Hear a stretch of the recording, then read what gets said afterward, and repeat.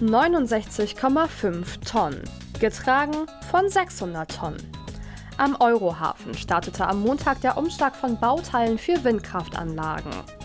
Um die schweren Komponenten sicher auf die Binnenschiffe verladen zu können, wurde ein gigantischer Raupenkran aufgebaut. Eigentlich nutzt die zuständige Firma Gerzen den Spellerhafen für solche Projekte.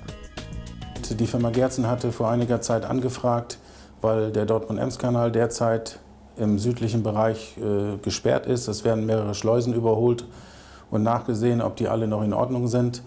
Und dort ist der Kanal also gesperrt und äh, dieses Projekt läuft äh, 360 Tage im Jahr. Und man hat also eine Ausweichmöglichkeit gesucht, um ausreichend Platz und auch für die Verladung äh, ja, den Platz zur Verfügung zu stellen. Platz hat der Eurohafen allemal. Das gesamte Hafengebiet umfasst eine Fläche von etwa 42 Hektar. Zudem bietet der Port vier Umschlagliegeplätze.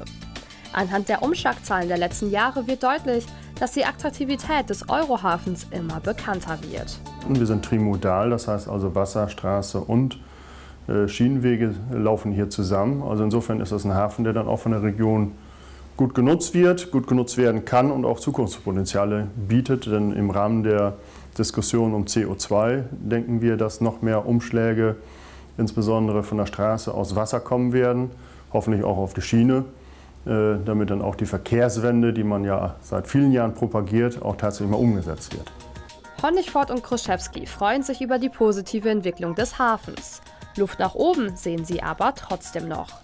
Wir sind durchaus in der Lage und haben unsere Kapazitäten noch lange nicht erreicht, obwohl wir derzeit doch äh, schon enorme Umschlagzahlen generieren, aber immer wieder noch Möglichkeiten, diesen Umschlag auszubauen. Und äh, ja, wie gesagt, wir nehmen jeden Auftrag gerne an. Nicht nur wird hier zurzeit der weltweite Export der tonnenschweren Maschinenteile für Windkraftanlagen vorbereitet, quasi direkt gegenüber werden andere Bauteile für insgesamt 45 Windräder entladen.